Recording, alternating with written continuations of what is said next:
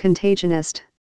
One who believes in the contagious character of certain diseases, as of yellow fever.